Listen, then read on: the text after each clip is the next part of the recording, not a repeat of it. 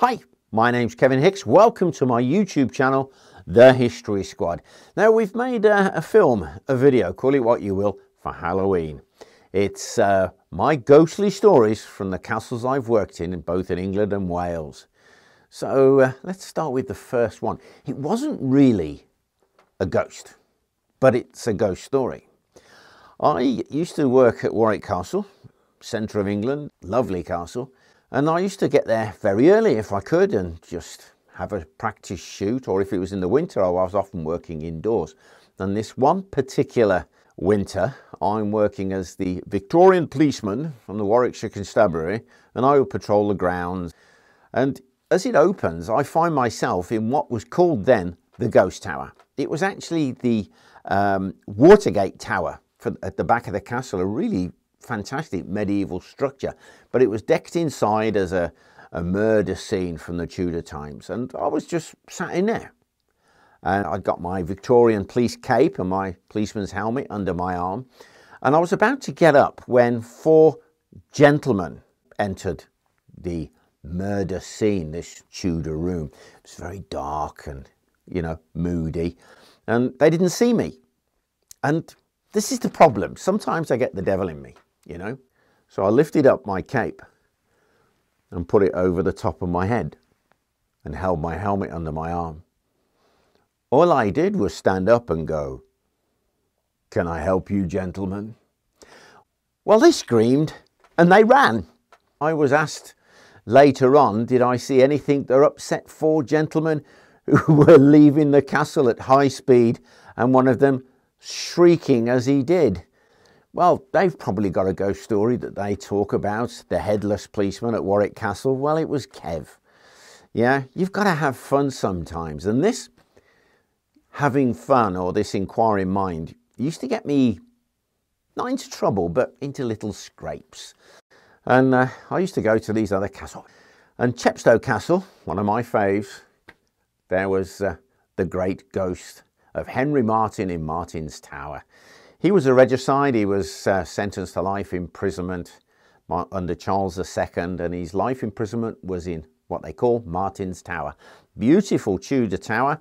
He was allowed to bring his wife, which he didn't want, and he used to spend hours upon hours staring out of this one window into the courtyard of the castle, watching everybody come and go.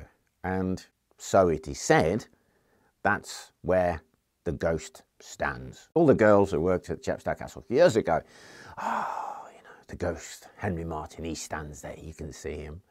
And they kept saying to me, you're not really worried, are you? I went, no, not really. And So they says, well, you lock up the tower then. Go all the way up and all the way down. It was very badly lit. And uh, I'm coming down the one day and there's a person standing there. So I walk over to the person, telling them the castle's about to close, when this person simply turned and looked me in the face and disappeared. Just like that. I didn't quite know what to do because did I see it? Was I imagining it? To me, it was real.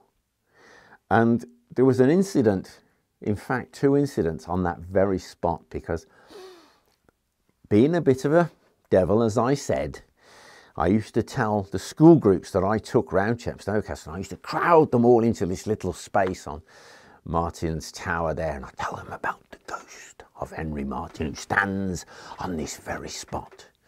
And I'd get all the kids really worked up, and the teachers would be listening. Those who knew the story would stand at the back, trying not to laugh. And what I do is I get three or four children at the front there, students, and we'd all hold hands. Because on the TV, there had been these ghost hunters and these little orbs rose up. And I said, what we've got to do is we've got to gather the energy from the men and women who died in this room. And the kids are all listening to me. And we get our hands together. And I said, everybody must be quiet. And we must get our breathing together. And I tell you, I get 30, 40 kids with everybody being dead serious. And then when it was at its height, ah! and the kids would jump up in the air and everybody start laughing, except for the kids who were crying. But hey, we used to have fun. Yeah, I used to spook the kids, all that kind of stuff. Well, there was a, a bit of a last laugh on this spot because I did get another school as I did and we got them into a circle and we're talking about the orbs rising and the energy and all of that kind of stuff and the teachers are all there because Kevin's going to go boo and all the kids are going to jump up and we're there in the circle and an orb simply gently rose up in front of us and there was an aura around us. The tables were turned. I was absolutely mesmerized and so were the children. I didn't go boo. I didn't need to.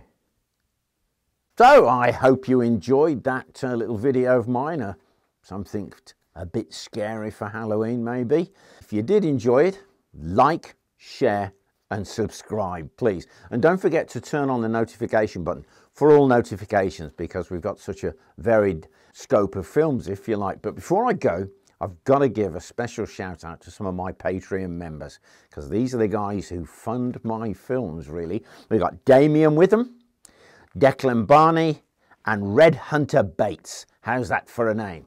Hey guys, thank you so much. Bye for now.